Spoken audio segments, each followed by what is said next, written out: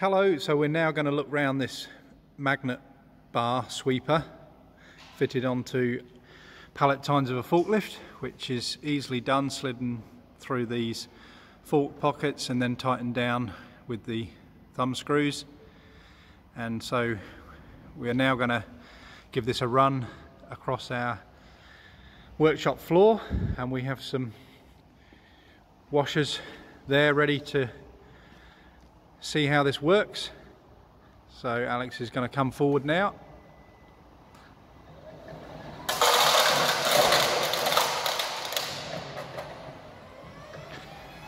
So you saw that, that was a clean sweep at quite a fast pass and we have all these washers now stuck to the underside of the magnet.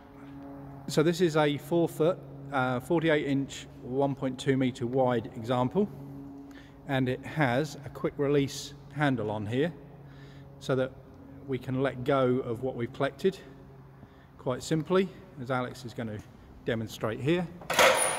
So he's pulled that handle up and all we've picked up has dropped off so that could be over a bin.